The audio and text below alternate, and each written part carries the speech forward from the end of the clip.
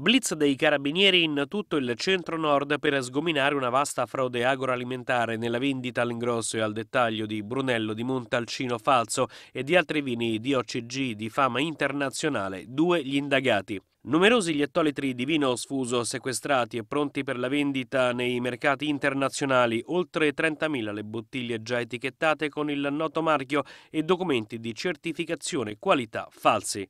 Decine le perquisizioni effettuate in cantine, centri di imbottigliamento, supermercati ed enoteche in Toscana, Umbria, Liguria e Lazio. Il vino sequestrato di scarsa qualità proveniente da mercati paralleli, dopo essere stato imbottigliato, veniva etichettato con false fascette con i sigilli di Stato e successivamente commercializzato in Italia e all'estero a un prezzo 10 volte superiore al suo reale valore.